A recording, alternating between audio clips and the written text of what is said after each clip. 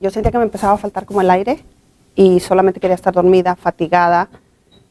Y yo dije, no, algo, algo anda mal. A solo 41 años, Franco fue diagnosticada con arterias tapadas. Según el doctor Sandeep Das, director de la unidad coronaria de Parkland, más del 90% de las mujeres tienen uno o más factores de riesgo de tener enfermedades del corazón. Yo pensé que a mí no me podía suceder, como pues prácticamente siempre me cuidaban mi alimentación, no al 100, obvio, pero, pero poquito.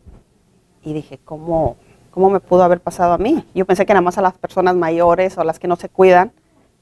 Me sorprendió bastante. Desde niña a Franco le ha encantado hacer ejercicio. Sin embargo, el doctor Das dice es posible ser joven, delgado y estar en forma, pero hay otros factores de riesgo para las enfermedades del corazón, como el colesterol alto o la hipertensión.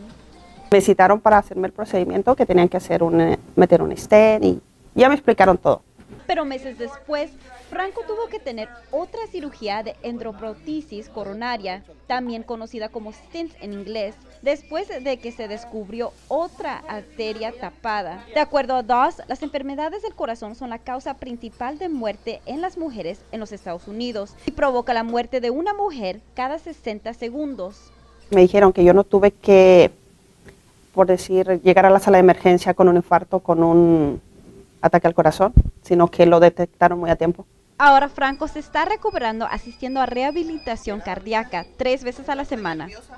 De 36 sesiones, solamente le falta dos semanas para terminar y poder regresar a su ejercicio favorito, la zumba. Ya sí he notado el cambio bastante. Ajá. ¿Y ya quiere regresar otra vez a su zumba? Sí. sí, pues solo que todavía no me dan luz verde, si no, si ya hubiera regresado. El doctor Das agrega, síntomas de infarto son diferentes entre mujeres y hombres.